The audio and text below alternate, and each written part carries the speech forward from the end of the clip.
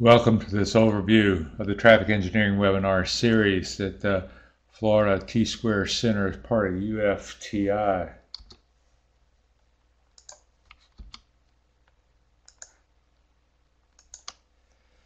My name is Bill Sampson. I'm with the University of Florida. I run the McTrans Center as well as the T-Square Center. And you see contact information for me there if you have any questions. This webinar is run over four afternoons, consecutive afternoons from 1 o'clock to 4 o'clock Eastern Time to generate a 12 hour uh, training course. During the course, we use Adobe Connect. Uh, we don't ask for video or audio from participants. Instead, we address questions or comments that are posted in the chat as we go along. And as always, beyond the webinar, uh, always available to help with anything that comes up that we might be able to help. At the end, you get a, a, a PDH credit of 12 and a certificate is, is emailed to you. Part of this workshop has uh, exercises that are hands-on problems, software demonstrations, those kinds of things. So it's broken into two pieces. Uh, the first day, roughly, is congestion. We look at road users, their habits, and and how drivers drive, and we we start to investigate uh, studies that will help us to uh, control the roadways and advise the drivers better. Traffic volume studies, speed data studies, uh, to get things like um, uh, peak hour factor and um, 85th percentile speed. Traffic control devices, we take a, a brief look at the MUTCD and spend some time in the signal warrant analysis procedure, going through all nine warrants and uh, culminating in an exercise. We look at signal components. We look at the, what, what makes the signal operate, how it operates, and timing coordination at some level. On the second day, the second uh, half, we look at the highway capacity manual and uh, we do an overview of the manual. We look a little bit at the software. You see the graphic down there. And then we delve into the procedures for signalized intersections, uh, two-way stop control, all-way stop control, and roundabout analysis. And we kind of pull all that together to look at a traffic impact analysis example, run through uh, the steps and the process for an actual real world one uh, toward the end of the course. So again, with congestion, we look at demand and capacity. the main reason is, is, is, congestion has increased significantly in the last 20 years, where demand has roughly doubled while we've only added 5% capacity. Looking at demand instead of stop bar counts is very important for congested signals, and we'll see how to do that and actually work a problem.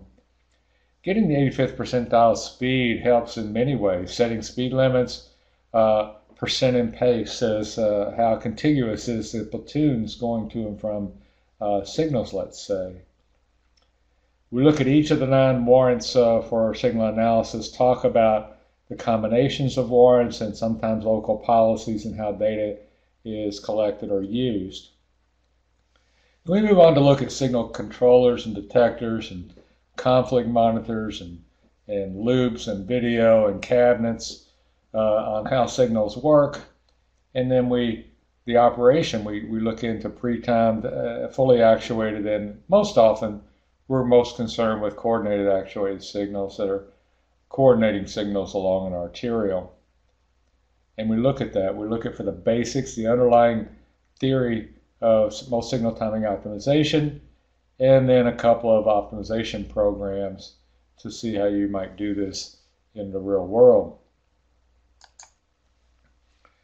On the capacity side, we look at both the highway capacity manual and the highway capacity software. We do focus on the procedures in the manual, even though McTrans that I run is responsible for the software. The software is a tool, a tool that automates the manual exactly word for word.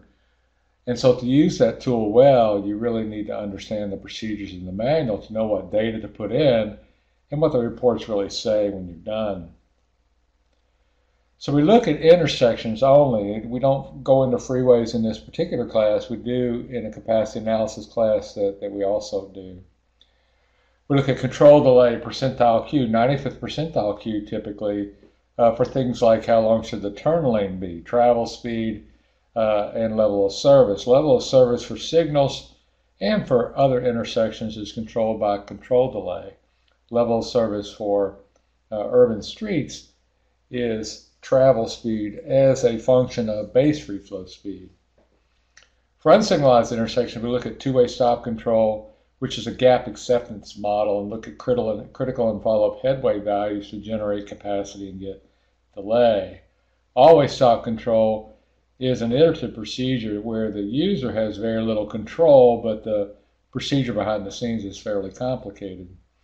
And then roundabouts. Roundabouts, uh, lots of popular uh, popularity with roundabouts all over the country these days, and there's a, a nice intuitive procedure for roundabouts in the highway capacity manual. All of these are implemented in the highway capacity software. Then we move on to signalized intersections, which is probably the most widely used uh, chapter in the manual module in the software, conventional intersections, and those get uh, spread into distributed intersections, sometimes called alternative intersections, restricted crossing U-turn, median U-turn, and displaced left turn intersections. Urban streets, we look at arterials with the, the modeling the platoon between the signals so we can model the effectiveness of coordination by producing something like called proportion arriving on green. The higher that is, the more vehicles have zero delay and the better the signal operates. And then we look at interchange ramp terminals, whereas the two signals controlling the interchange uh, freeway ramps coming to and from the arterial, including the, the, the Diamond interchange, which is really popping up all over the country right now in that design. And then at the end, we look at traffic impact studies, which involve the trip generation manual, demand distribution, but also running that in highway capacity software, modeling existing conditions, uh, future conditions with the extra traffic, and mitigated uh, mitigated analyses to to judge the effectiveness of proposed improvements to uh, offset the trips generated by development. So hopefully this makes sense and it's something you're interested in. You can take a look at the at the T-Square website. You can look at the, the McTrans website for the capacity course. if you have trouble locating anything, just shoot me an email. Be glad to point you in the right direction or answer any questions you might have about this training course. So I'm really hopeful that uh, that you uh, participate and that at some point along the way we'll see you in one of our courses. Thank you very much.